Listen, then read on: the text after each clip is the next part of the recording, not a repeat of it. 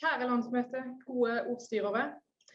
Innføring av skolemåltid er en viktig politisk prioritering for å bedre barn og unges oppvekstvilkår, og det sørger for utjevning av sosioøkonomiske forskjeller.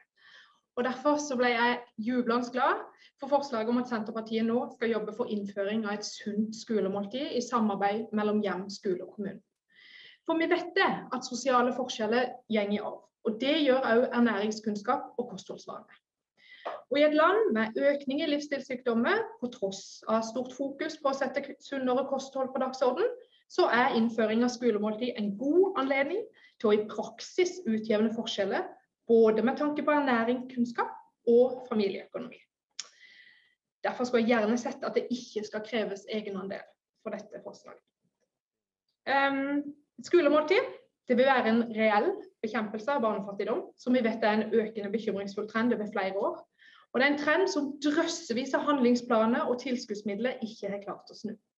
Barn som kommer sultne på skolen, som har glemt matpakka si, eller som ikke har innholdet i den matpakka som en voksen kropp trenger, det er ikke bare en myte, det er en realitet for mange barn. Og Skolemåltid kan være en av de faktorene som bidrar til bedre helse, økt læring og trivsel. Og Barn og unge trenger også kunnskap om hvor maten kommer fra, for å behandle den med den respekten den fortjener. Og En måte å lære barna våre om det på, det er gjennom skolelaget. Og Agders endringsforslag om at alle barn skal få mulighet til å lære om matproduksjon og dyrking i praksis, gjerne gjennom skolehage, det er foreslått tatt inn i programmet. Og det er svært gledelig. For nasjonalt og internasjonalt så finnes det gode eksempler på at skolehage kan fungere som et svært godt tiltak for å bedre levekår, gi bedre helse, trivsel og læring for de som er involvert, i hele nærmiljøet.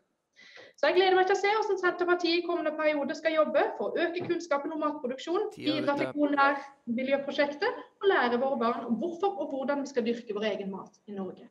Takk.